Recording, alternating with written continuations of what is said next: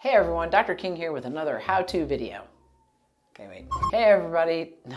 Hey everyone, Dr. Emily King here with another video on, no.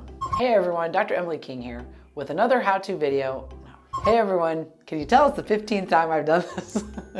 hey everyone, Dr. Emily King here with a video on how to get a sleeping respiratory rate on your pet. Firstly, I should mention, for our how-to videos, I typically will be hands-on with a patient, but because we need these patients sleeping, shh, I decided that it might be best to film them separately. So we typically use a sleeping respiratory rate as a metric to monitor the progress and the status of patients that we have in congestive heart failure. A sleeping respiratory rate should always be less than 30 breaths per minute.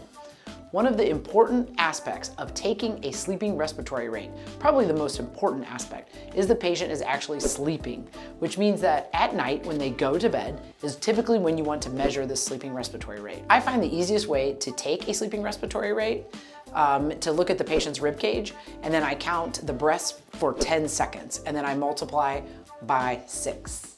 Easy math.